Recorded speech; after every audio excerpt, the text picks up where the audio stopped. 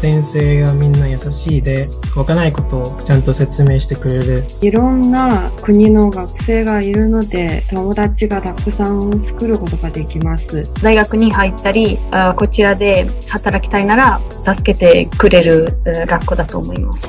はい。じゃあ、皆さん、A さんと B さん話します。えっ、と、A さんは、アナさん、えーはい B さんは、アルベルトさん。いじゃあ、お願いします。はい。アルベルトさん、週末は何をしたいですか？オムライスを食べたいです。そうですかどこで食べたいですか？駅前のレストランで食べたいです。そうですかはい。ありがとうございます。はい。アルベルトさん、イタリアにオムライスがありますか？ありません。そうですか。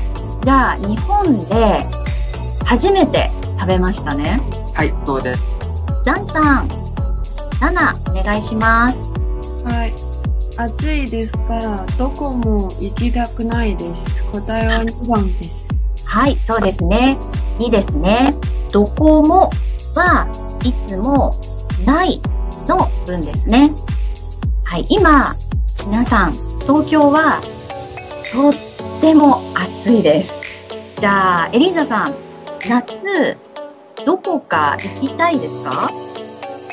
えっと、ドイツに行きたいです。そうですか。ドイツは夏涼しいですか、あ、もっと涼しいだと思います。そうですか。イタリアは暑いですか？とても暑いです。どんな仕事がしたいですか？あ、えっと、翻訳者として働きたいです。あそれは、えっと、イタリア語と日本語の翻訳者。そうそして英語も。英語も、はい。はすごいですね。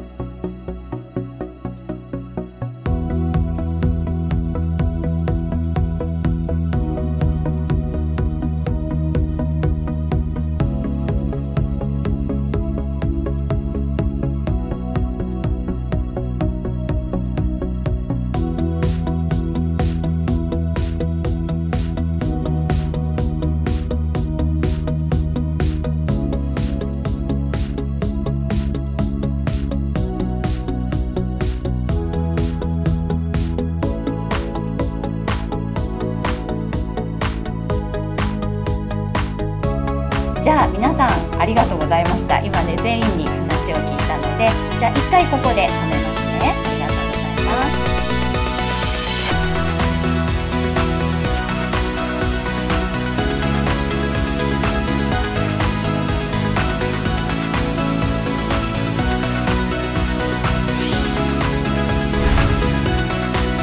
す。一緒に勉強しましょう